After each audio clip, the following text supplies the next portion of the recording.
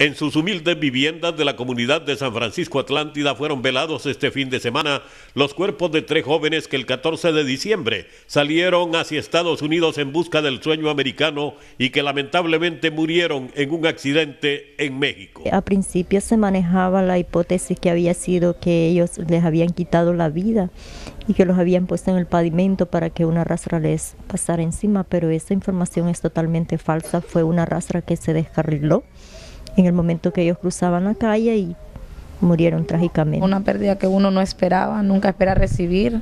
El cuerpo de un familiar, así como trajeron el de mi hermano, uno espera siempre un familiar vivo, lo espera con vida, aunque sea que no hubieran cruzado, pero que estuvieran con vida, nunca los espera así como viene. Que iba con planes de darle un mejor futuro a su hijo. No sé, un dolor que uno no se puede explicar, un dolor que nunca se va a borrar. Él dijo que se iba con, para ayudar a la abuela a arreglar esta casa. Eran las esperanzas de llegar allá. Los tres jóvenes ya fueron sepultados por parientes y amigos ayer domingo. En San Francisco Atlántida, Germán Vallecillo, Telenoticias.